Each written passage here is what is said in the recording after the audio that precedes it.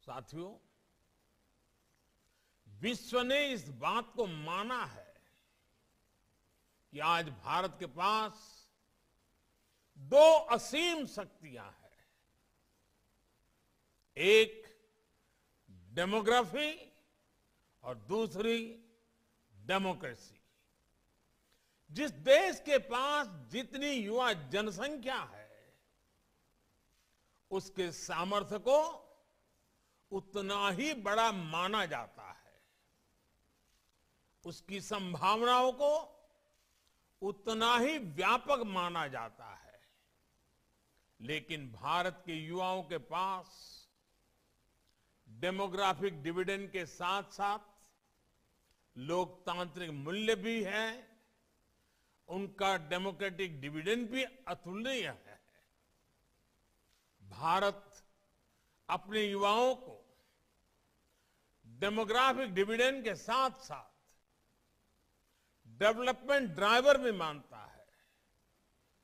आज भारत का युवा हमारे डेवलपमेंट के साथ साथ हमारी डेमोक्रेटिक वैल्यूज़ को भी लीड कर रहा है। आप देखिए, आज भारत के युवाओं में अगर टेक्नोलॉजी का चार्म है तो लोकतंत्र की चेतना भी है। आज भारत के युवा में अगर श्रम का सामर्थ्य है तो भविष्य की स्पष्टता भी है। इसलिए भारत आज जो कहता है, दुनिया उसे आने वाले कल की आवाज़ मानती है। आज भारत जो सपने देखता है, जो संकल्प लेता है उसमें भारत के साथ साथ विश्व का भविष्य दिखाई देता है। और भारत के इस भविष्य का, दुनिया के भविष्य का निर्माण आज हो रहा है। ये ज़िम्मेदारी, ये सौभाग्य,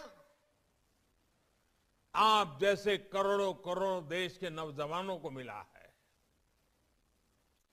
वर्ष 2022 का ये साल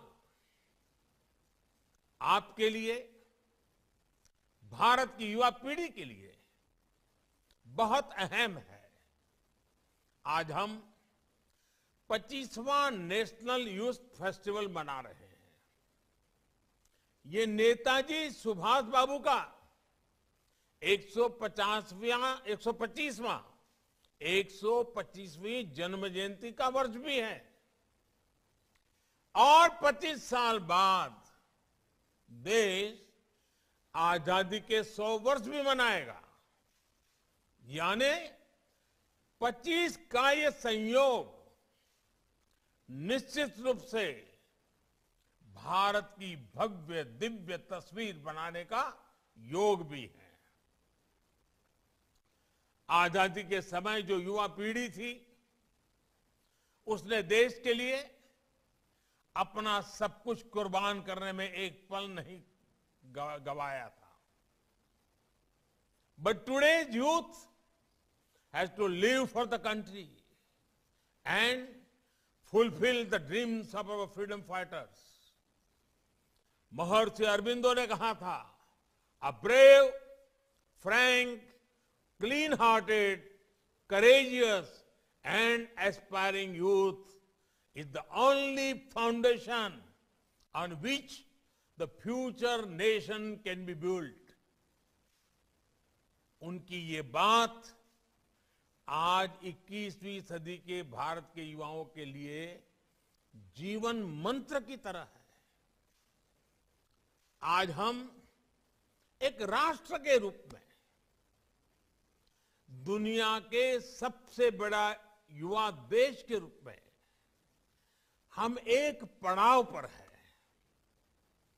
ये भारत के लिए नए सपनों, नए संकल्पों का पड़ाव है। ऐसे में भारत के युवाओं का सामर्थ्य भारत को नई ऊंचाई पर ले जाएगा।